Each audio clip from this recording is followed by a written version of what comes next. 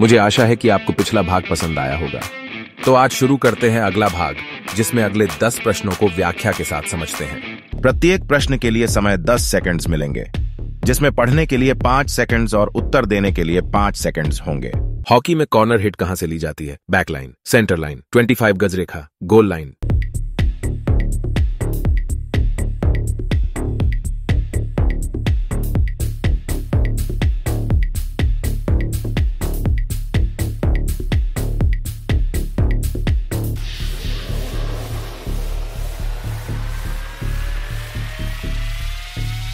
Marathon दौड़ की दूरी कितनी होती है? 43.195 किलोमीटर 42.195 किलोमीटर 41.185 किलोमीटर 40.165 किलोमीटर।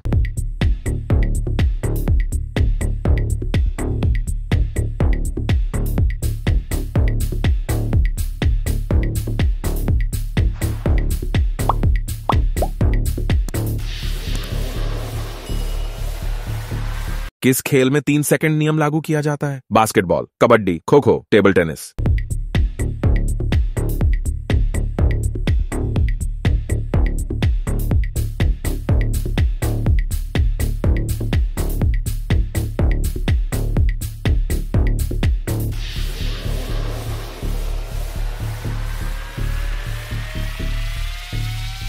खेल की शीर्ष फॉर्म किस पर निर्भर करती है? प्रशिक्षण दैहिक सीमा आहार उपकरण।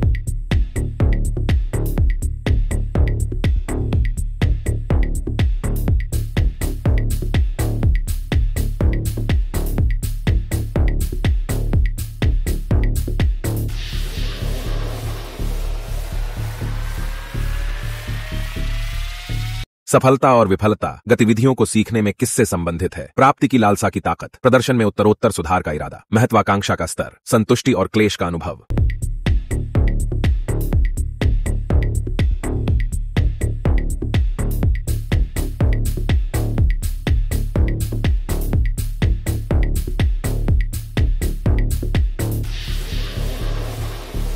संस्थान की चार दीवार के भीतर आयोजित प्रतियोगिताएँ हैं। इंट्राम्यूरल एक्स्ट्राम्यूरल इनडोर प्रतियोगिताएँ आउटडोर प्रतियोगिताएँ।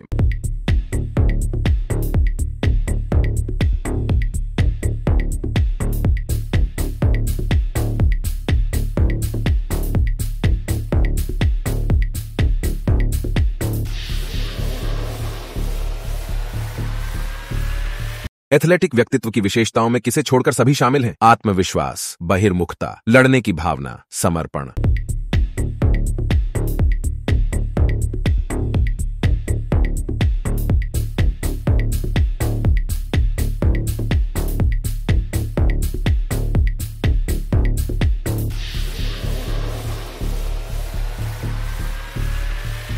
निम्नलिखित में से क्या खेल कार्यक्रम का पहला कदम है? निर्देशन करना, कर्मचारी रखना, योजना बनाना, बजट बनाना।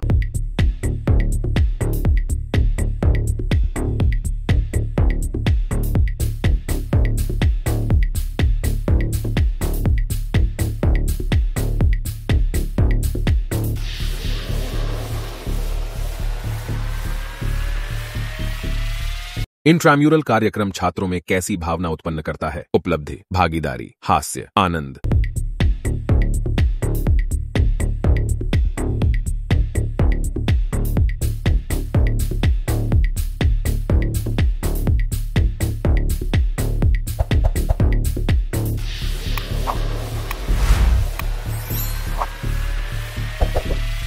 प्रतियोगिता योजना के ब्लूप्रिंट को क्या कहा जाता है? प्रौद्योगिकी, युक्ति, नीति। कौशल।